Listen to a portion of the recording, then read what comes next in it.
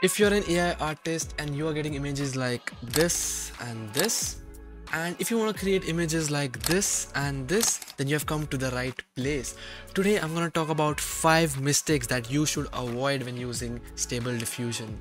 So let's get started with the video. So before I start talking about these mistakes that you can avoid, I'm gonna teach you how to run Stable Diffusion first. If you don't have a good PC or you don't even know how to install Stable Diffusion, I have a very simple solution for you. You can come over to diffusionhub.io and you can start running Stable Diffusion within two clicks. They provide really fast GPUs such as A100 and they provide up to 40 gigabytes of VRAM. You don't need to worry about any installation, you don't need to worry about any code and all of the extensions and models are already pre-downloaded. So I would suggest you to go and check out this website and you can get 30 minutes for free when you log in. Once you click on launch, you can select whichever plan you want to choose and you can start running your stable diffusion in just two clicks. Coming to our five mistakes that you should really, really avoid when using stable diffusion. So let's come to the first mistake that a lot of people make is using just one checkpoint for every single image. So when you're selecting a checkpoint, you should know what the checkpoint does and what it specializes in.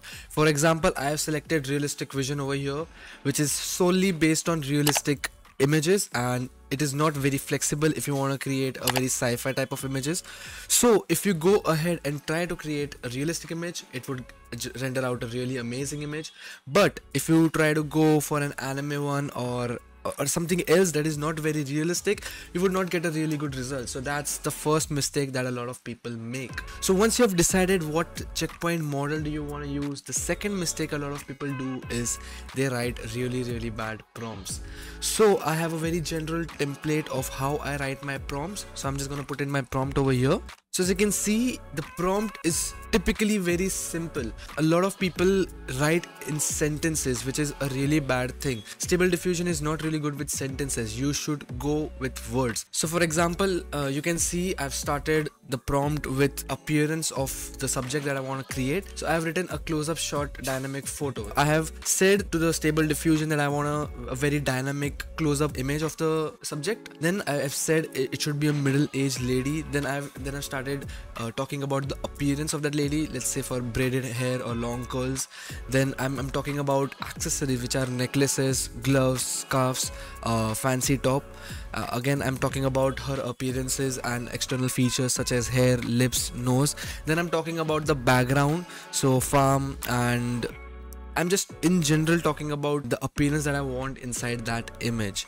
As you can see i am not writing a very long sentences. I'm breaking that sentences into smaller words and then i'm putting that smaller words into a specific sequence. So the sequence is you start with the subject then you go on with the background then you talk about the image and the quality of that image. So you can see you can you can write ultra detailed real life textures.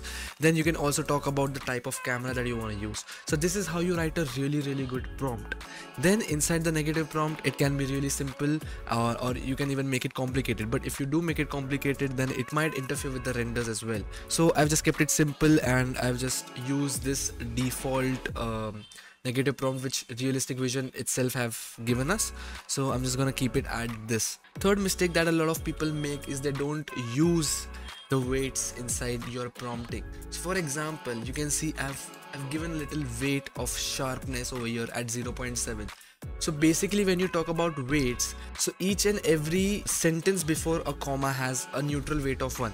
So you can consider middle-aged lady as one braided hair as one. For example if you're trying to create long curls and you're not getting that uh, result inside your stable diffusion then what you can do is just select part of the sentence just click on control and your up arrow key. And then what it will do is basically it's a shortcut which is used for creating these parentheses. And then you put a colon and then you and then you increase the weight by 0.1 and by 0.1 I mean 10% so this is how you can increase weights for certain words inside stable diffusion which will have more weight over the other words and more priority over the other words.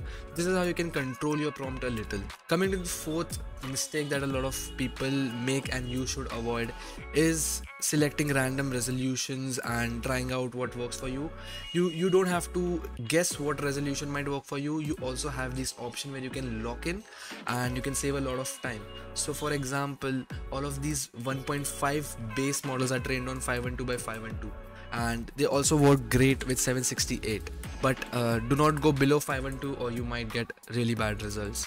So I'm just gonna select 768 for this example and I'm just gonna click on generate you can see this is quite realistic but still it is not entirely perfect another mistake that a lot of people make is they don't use LoRa's. So what basically a LoRa is, it is basically a small model which you can place over your checkpoint models. These LoRa's are trained on very specific niche and uh, they will help you redefine your checkpoint based models and they will help you a lot when you're generating images. For example let's take this LoRa uh, called detail tweaker LoRa. So this LoRa is basically used for enhancing your details inside your images. So if I open this image and you can see on the first image we see a lot of detail. In the second image we see a very uh, generic mid-range detail. And in the third image we see very few details. So once you put this LoRa and you play around with their weights you can either increase the detail or decrease the details. These types of LoRa's are called style LoRa's. So the other type of LoRa's are called character LoRa's.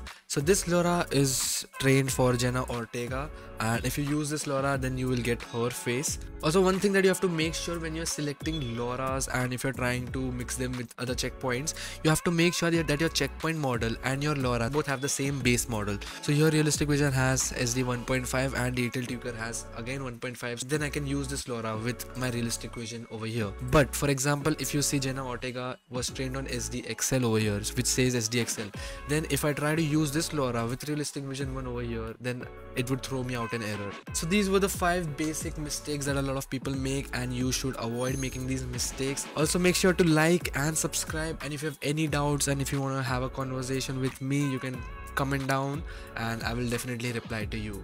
Till then see you